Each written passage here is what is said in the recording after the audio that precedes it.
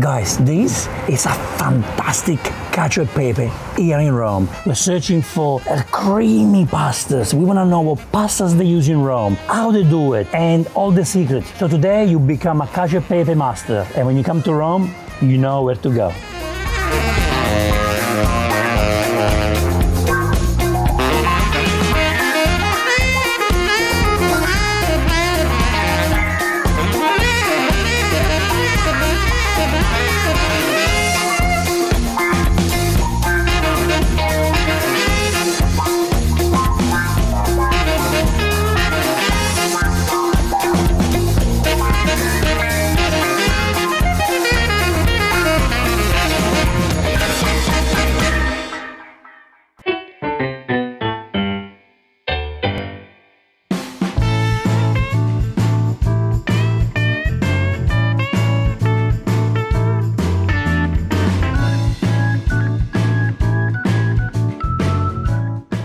Now we're about to go to Pasta Imperiale, a takeout pasta shop. This is Via dei Coronari, okay? The pasta place is here. Via dei Coronari, it's a beautiful area, beautiful street, not far from Piazza Navona, start in Piazza Navona, ends in Castel Sant'Angelo. Uh, it's full of antique shops and a must see when you come to Rome. It's nice and cool, even if you come in summer, it's nice and cool.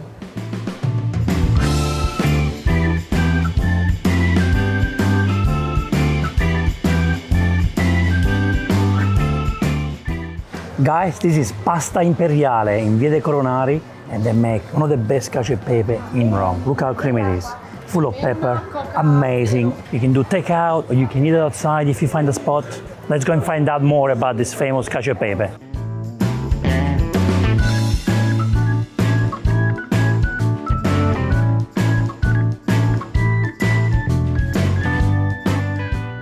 Guys, this is Alberto, the man behind Pasta Imperiale in Rome. Alberto, you come from Bologna, Yes, not Roman. the town of pasta, parmigiano. What are you doing here? I'm working here actually. I'm learning. I'm learning how to do the typical Roman dishes in the better way. And you have to judge today if I'm good, if I learned what I had to.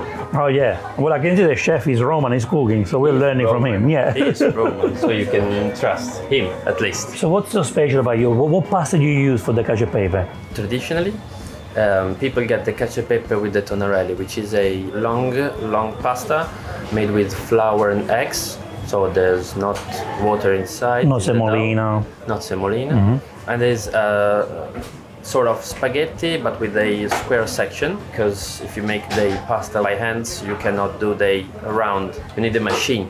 But uh, actually, it's a very good pasta. You taste it very al dente. You like that beautiful crunchy feeling in your mouth? Yeah, actually, Yeah. I do. You can get the spaghetti with the without eggs. Okay. You need the uh, durum wheat uh, dough with Okay. water. Semolina and water. Yeah. Yeah. it's not as much al dente as, as the tonnarelli, but it's good in the good. same way. So these are the spaghetti that without eggs. So here you see the dough is let's say light yellow. Yes. Correct, because there is the semolina, which is uh, light yellow flour That's right. Yes. and water. But if I show you those are the tonarelli, actually you can egg see, pasta. you can see the color is more yellow. Same pasta, but darker. Same pasta but darker because With the there are egg. eggs inside. Yes.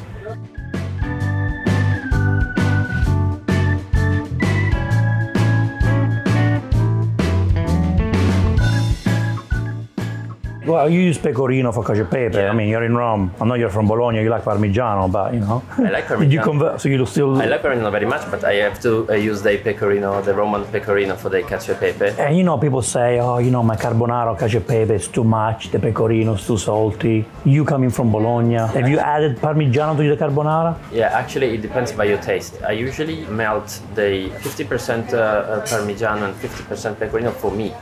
But if you, for example, if you say that uh, you, you like, you have no problem with uh, salty pasta, you can do pecorino because pecorino romano is salty. For example, if you know the uh, Sardinian pecorino, the Sardinian pecorino is not as salty as the Roman. The Roman pecorino is very, very salty. So if a client comes here and they think like you, say, you know, I don't want 100% pecorino, please do 50 Parmigiano, 50 Pecorino. No worries. You do it. Uh, it's the moment that we've been waiting for. Here at Pasta Imperiale, we're making a cacio e pepe with tonnarelli. This is a very big amount of pecorino. You mixing pecorino and parmigiano, right? You did it. He's making pecorino and parmigiano. And black pepper, very important. Let's see, let's see what the chef, how the chef is making the famous cacio e pepe from Pasta Imperiale. I'm already interested to try this combination of parmigiano and pecorino. Okay, look. Here we go with the water. Salty water. It depends. If you, for example, use the um, normal water, so without salt, then the result will be different, less saltier. So it depends on again on your taste and on, on the pecorino you use. So if you take the pasta out from the boiler, the pasta is around 10 degrees because it's boiling. So the- Celsius. The, trick is lowering the temperature of the pasta before putting in the in the pan. Okay. Also, you don't get the strings. Yeah, right. Because if you get the strings, It's the, not- the, the dish is wrong. Put out of the boiler when it's, once it's cooked. Yes. Wait some time because the pasta becomes fresher. But like when you say sometimes, you're talking about seconds. Seconds. Like five, 10 seconds, let's Yeah, say, no yeah. more. Otherwise, the pasta will. Yeah, right. will- No, you're right. You, you 10 kill the pasta. Yeah. Five seconds. Beautiful pasta. Look at that. A little bit of pasta water. This is the most important part of the recipe, guys. The tossing.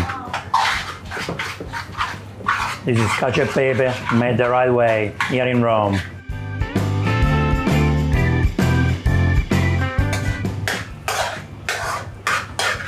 The moment we've been waiting for. Oh, look how creamy, look how creamy. Oh. Final touch. Do Pepper Bay, vai, Pepper Bay. Buon appetito. The moment we've been waiting for. Oh, come on, ladies and gentlemen.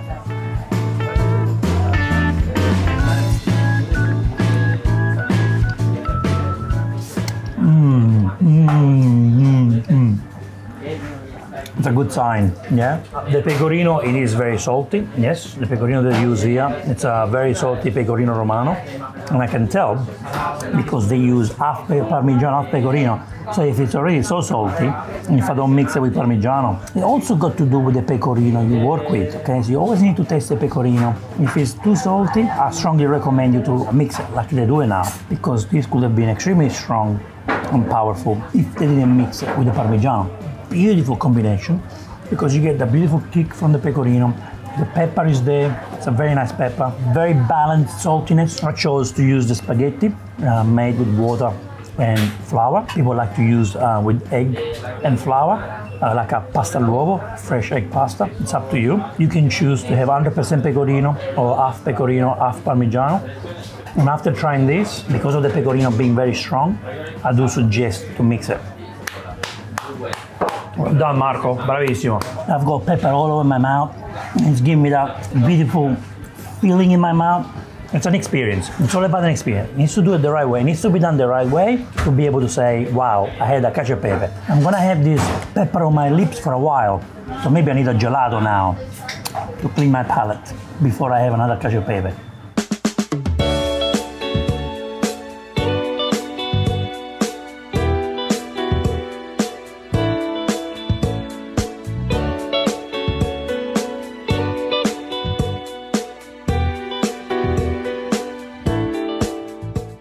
Ladies and gentlemen, this is one of my favorite restaurants in Rome, Fuoco Lento on Via Flavia. It's a great spot where you can go out at night, have a great meal. We have 50 Kalò over there, which is a- an award-winning Neapolitan pizzeria. At the moment, they say it's one of the best in Italy. This restaurant, they make amazing seafood, meat, cacio e pepe, which is what we're eating today. Marcella Royal, my favorite hotel, is right there. The Gelateria alla Romana, my favorite gelato place is here. So this is a very good foodie spot and you must try. It. When you come to Rome, you do want to eat like old school Roman restaurant. You go to the table outside, you see people coming past. It's something that you always have to do when you come to Rome or you go to Paris. You want to watch people, eat, drink wine, and this is the best place to do it in a nice, relaxing atmosphere. Let's go and, and try the cacio e pepe from Fuoco Lento. So basically, the guys at Fuoco Lento, they like to use fresh pasta for cacio e pepe. Now, the chef added extra virgin olive oil and black pepper. Look at this beautiful fresh tonnarelli. Fresh pasta is so important for cacio e pepe. That's pasta water that the chef added to the oil, to the pepper. You do this, it brings all the flavors out. Bellissimo, bellissimo. Good thing about fresh pasta is it takes a few minutes to cook, so you don't have to wait like 12, 13, 14 minutes. Look at the reduction. See the water reduced, the flavors in the pan are pretty good. Simple, simplicity at its best. The fire is very gentle there, it's not strong, it keeps it warm. You just want to keep the pan nice and warm. Don't burn the pepper. This is the moment that we've been waiting for.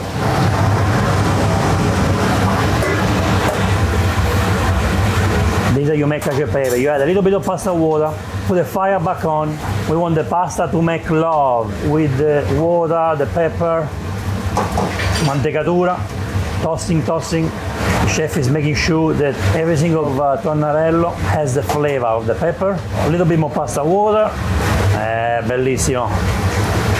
See, just the way it is, it's already creamy, the way it is. There's no pecorino in there yet, and it's already nice and creamy. Now is the moment where the chef adds the pecorino. So he doesn't make the cream earlier. He puts the pecorino on the spot, like Nonna does it. Fire is very, very gentle. Look at that. A big handful of pecorino created the cream.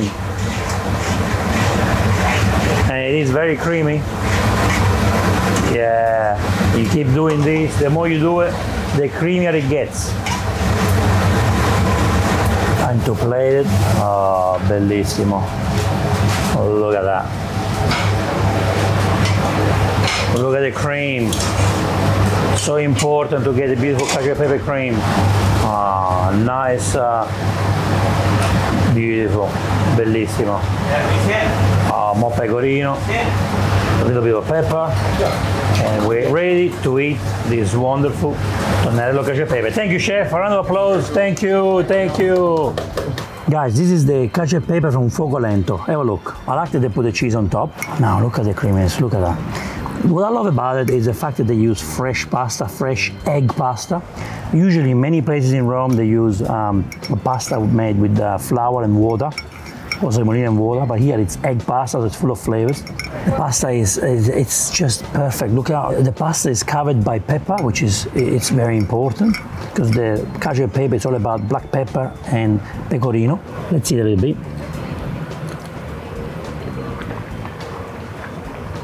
Mm.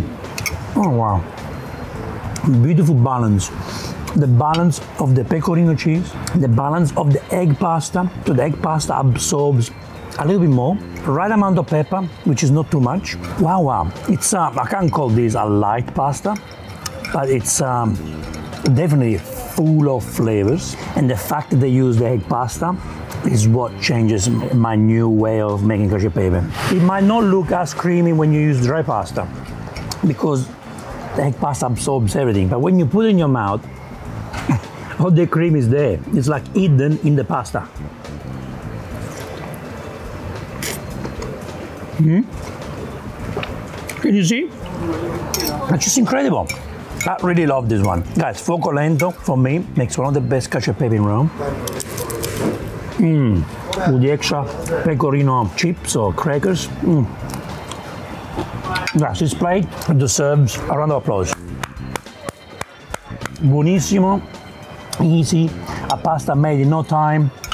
When you come to Rome, you need to come here to Fuoco Lento and give it a go because this is the way cacio e pepe should be made and enjoyed with a nice glass of red wine. Mm. This is uh, cameraman Matteo. Basically, it's everything is uh, he records. What do you think of this cacio e pepe? Tell us. Really good, really good. It's delicate. It's not too heavy. I like it. Mm. Superb.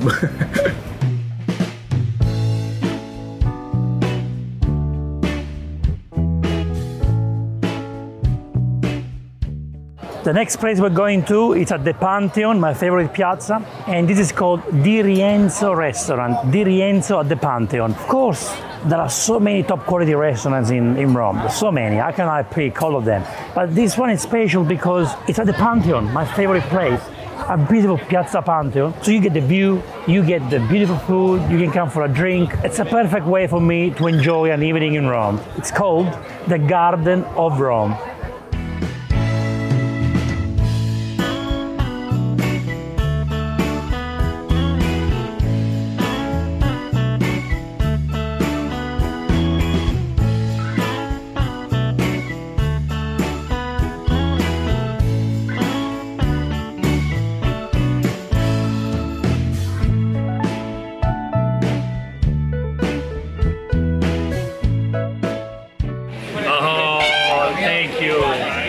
Welcome. Yeah, thank you so much. When you come to Di Rienzo, always ask Andrea or Salvatore. It's Nice to meet you. the, the reason why I came here eight years ago when I people. Pantheon over there, these guys entertaining you, and a fantastic pasta to be here in Rome. The best place of Rome. Absolutely. You're welcome. Enjoy your meal. Here guys, here we go with the pepe, look. Look, creamy, the creaminess is there, creamy, there's pepper everywhere, there's plenty of pepper in this pasta. There's extra on the sides here, just in case you want more. But what I'm looking for here is the creaminess. See here, we got the cacio pepe. That's the cacio. What's cacio pepe? Cacio pepe, cacio means cheese. Cheese and pepper, nothing else. Done the right way. Guardate. I think it's time for me to eat it. Get the pasta. Let's let's do the creamy test. Let's do the creamy test. Mm. Mm. Mm. Mm. How do you go wrong with this place? Great pasta. Great view. Can you believe where I am? Do you understand where I am? Huh? The Pantheon. The Pantheon. It's such a special place. It's a store in the Pantheon. It's a big hole in the top of the ceiling in the Pantheon. And apparently, part of the history if it rains, the water does not go through. That's insane. Guys, if you come to Rome, this is a must experience. Ask for Salvatore or Andrea. Here, tell him Vincenzo sent me here and enjoy a plate of cacio pepe. And you'll feel special, just the way I feel special right now. This is my third cacio pepe of the day. Am I feeling good? Yes, I feel good, but I don't think I can do more than this. So thank you so much for watching this episode. I hope you've learned a lot about cacio pepe. I will see you in the next Vincenzo's Plate video. E ora si mangia. Vincenzo's Plate. Mmm. Mmm. Mmm.